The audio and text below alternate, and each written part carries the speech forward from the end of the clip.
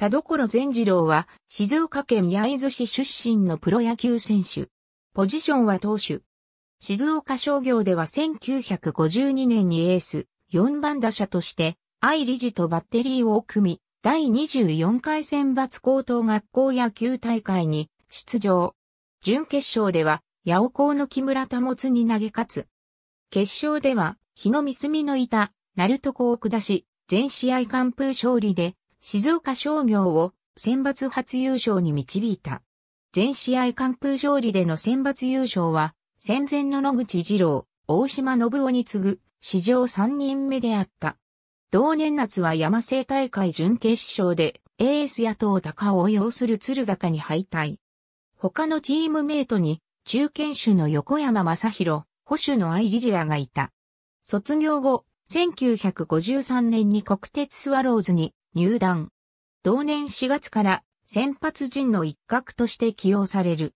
5年目の1957年にはエースの金田正一と共に先発の柱として15勝21敗と初の2桁勝利を記録した。1959年にも11勝を挙げている。その後は勝ち星も少なくなり、1964年限りで現役を引退した。翌年からは国鉄に残ってコーチを務めた。その後は静岡県野球連盟協議役員として少年野球チーム焼津リトルハヤブサの代表を務めてた。現役時代はオーバースローからドロップ、カーブ、シュート、シンカーを武器とした。2021年1月6日、腸間膜動脈閉塞症のため86歳で死去。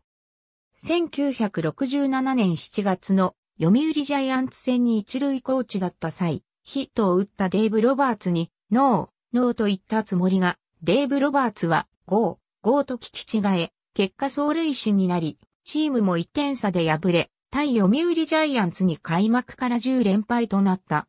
国鉄のエース金田との出会いは、1950年に静岡省が愛知県岡崎市に遠征した際、競泳招待を岡崎校の練習試合を観戦した時のことであった。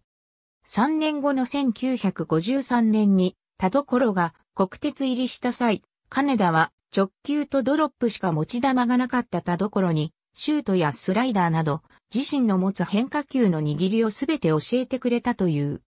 田所は金田を評して、自身にとっては野球の先生であった。怖いというイメージがあるが、実際は後輩にはとても優しく、キャンプでも部屋に自ら飲料水を用意するほど、事故の体調管理には気を使っていた。と10回している。ありがとうございます。